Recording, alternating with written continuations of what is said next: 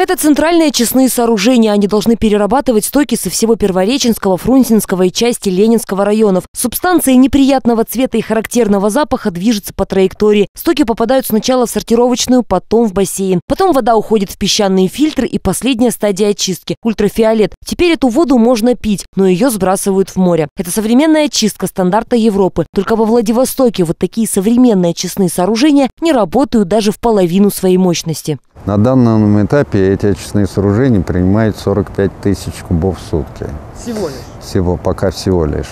Почему? Значит, максимальная, максимальная подача на эти очистные сооружения планируется где-то порядка 110-120 тысяч. Чиновники и СМИ уже объявили о том, что очистные сооружения запущены. Теперь выяснилось, что до ввода объекта в эксплуатацию еще далеко. Главным заказчиком и подрядчиком работ был Приморский водоканал. Свой недострой краевое учреждение объясняет нехваткой финансов. И это при том, что на возведение объекта Центр выделил 9 миллиардов федеральных рублей. По одной версии водоканал нерационально использовал свои деньги. По версии водоканала в бюджет был заложен не весь объем работ. 9 миллиардов – это деньги на строительство одних только площадок, а насосные станции и сети почему-то не были учтены. Проще говоря, бассейны построили, а про трубы к ним забыли. Сейчас это очистные, значит, они берут э, стоки от снеговой пади, Первореченский, уча, э, Первореченский район.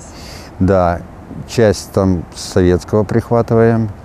И, и все, пожалуй. Как обычно, деньги на достройку объекта саммита хотели взять в краевом бюджете, но на этот раз край отказал. Запрашиваемые 2 миллиарда рублей водоканалу дали, только в кредиты под проценты. Работы по достройке объекта начались меньше месяца назад, и теперь сроки его сдачи выглядят так. В мае 2014 года Приморский водоканал готов полностью запустить центральные очистные, а к 2015 запустить в работу все, включая южные очистные. Сегодня при стопроцентной готовности площадок они вообще не работают. Екатерина Чернакова, Дмитрий Сухоруков. Новости на восьмом.